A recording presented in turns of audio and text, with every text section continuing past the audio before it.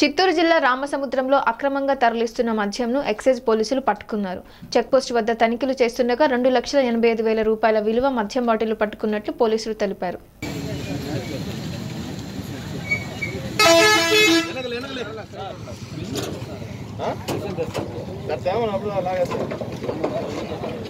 అయితే అవునే తాగాలంటే అవి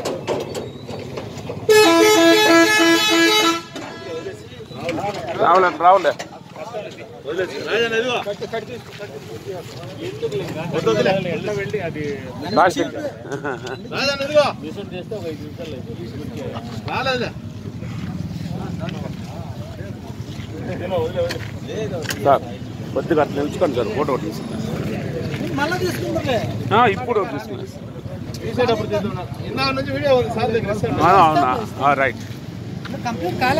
ఆ, ఆ.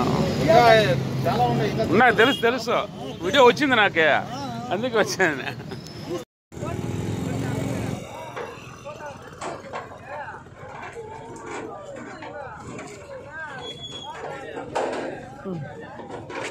ఏం బస్ మాట్లాడతా లేదు నా మాట్లాడదాం ముందు నువ్వు అద్దెకి చెప్పు మళ్ళీ ఆ డేట్ బుక్ అయిపోయింది